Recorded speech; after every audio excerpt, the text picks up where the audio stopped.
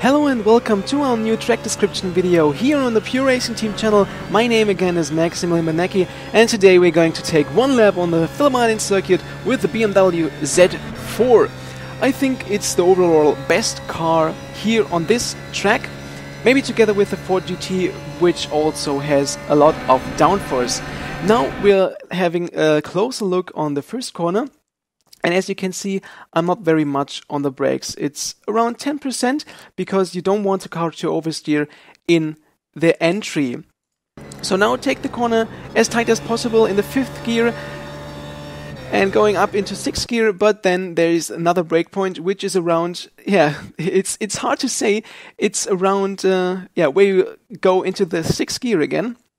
So just uh, take your time and practice a lot to uh, find the perfect brake point for this corner. And this corner is exactly the same as the first corner. Take it as tight as possible, stay at the curb, and then you, after around, yeah, maybe five till six seconds, you can see that the curb on the left hand side stops. And this, this is the point where you can start to accelerate your car again.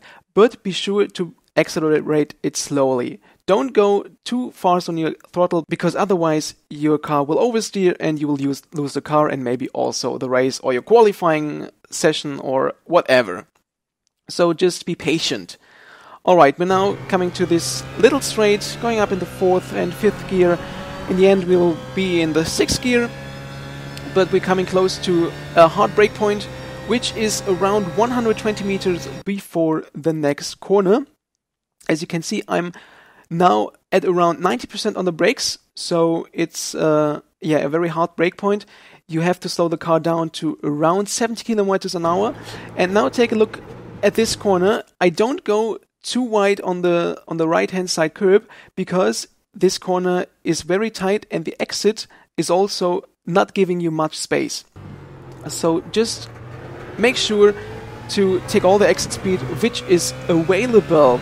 Now the next corner is exactly the same as turn 2. You have to give your car a little bit of space from the left hand side curb to accelerate as fast as possible and um, yeah, to gain as much speed as possible. The next straight also has a little corner, little right hand corner, but you can take this with full throttle, it's no problem. And now we again have a left hand corner, which is yeah nearly the same as turn 2, where you have to be as tight to the curb as possible on the left hand side because otherwise you could go into the grass on the right side. So also make sure to have your car under control when braking, which means don't brake too much because otherwise you could have oversteer and lose your car. So be patient and try to control your car through the whole corner. As you can see, I'm very close to the corner because this is needed for the next corner. And as you can see, the brake point is around 55 till 60 meters. And we again have a very slow corner. You drive it with around, yeah, maybe 70 kilometers an hour.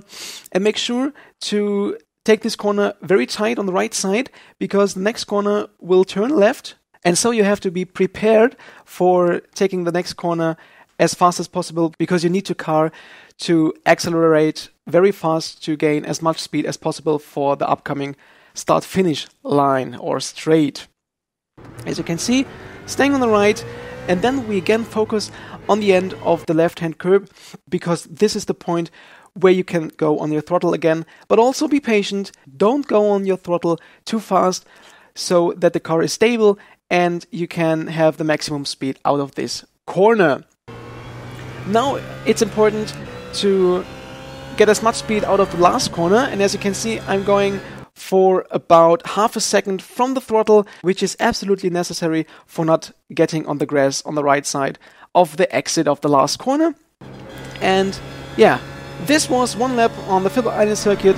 And now you can enjoy the video again, but without me commentating. And I hope you have a lot of fun. And if so, just leave a like or comment below. Maybe also a subscription and yeah, see you next time. Bye bye.